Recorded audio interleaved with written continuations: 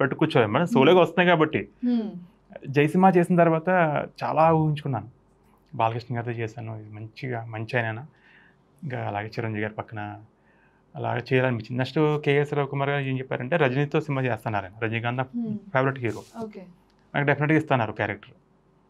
నాకు ఇప్పుడు కూడా చాలా ఇష్టం. అలా ఏమన్నా వస్తే ఇంకా చాలా హ్యాపీ ఇంకా. బిజీగా ఉండొచ్చు. పెద్ద పెద్ద హీరో పక్క నుంచి యాక్ట్ చేయొచ్చు. ఎందుకంటే ఎన్టీఆర్ కానీ రామ్ చరణ్ గారు కానీ బన్నీ కానీ ప్రభాస్ గారు కానీ చాలా అంతకంటే ఇంకేం కావాలి.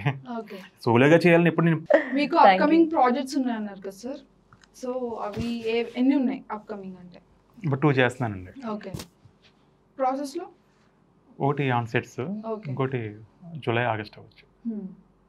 సో మీకు ఏమైనా ఫ్యూచర్లో ఈ కైండ్ ఆఫ్ మూవీ చేయాలి? అలా ఏమైనా ఉన్నాయా సార్? లేకపోతే ఈ డైరెక్టర్ అండర్లో వర్క్ చేయాలి?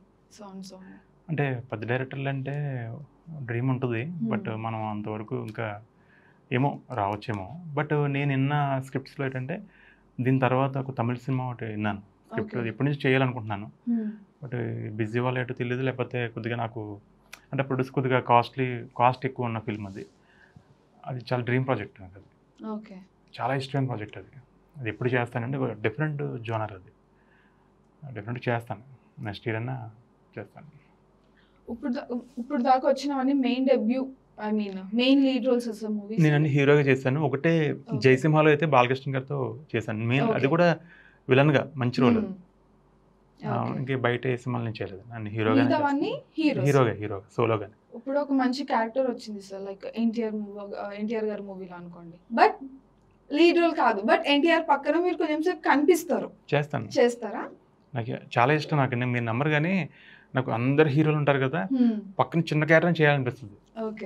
ఎందుకంటే ఎన్టీఆర్ కానీ రామ్ చరణ్ గారు కానీ బన్నీ కానీ ప్రభాస్ గారు కానీ చాలా అంతకంటే ఇంకేం కావాలి. సోలోగా చేయాలని ఎప్పుడు నేను పెట్టు కూర్చోలేము మేడం సోలోగా వస్తున్నాయి కాబట్టి. జయసింహ చేసిన తర్వాత చాలా ఊహించుకున్నాను. బాలకృష్ణ గారితో చేశాను. ఇది మంచిగా మంచి ఆయన ఇంకా అలాగే చిరంజీవి గారి పక్కన అలాగే చేయాలనిపించింది. నెక్స్ట్ కేఎస్ రవికుమార్ గారు ఏం చెప్పారంటే రజనీతో సినిమా చేస్తున్నారు రజనీకాంత్ నా. Favourite hero. నాకు డెఫినెట్గా ఇస్తున్నారు క్యారెక్టర్ నాకు ఇప్పుడు కూడా చాలా ఇష్టం. అలా ఏమన్నా వస్తే ఇంకా చాలా హ్యాపీ ఇంకా. బిజీగా ఉండొచ్చు. పెద్ద పెద్ద హీరో పక్క నుంచి యాక్ట్ చేయొచ్చు.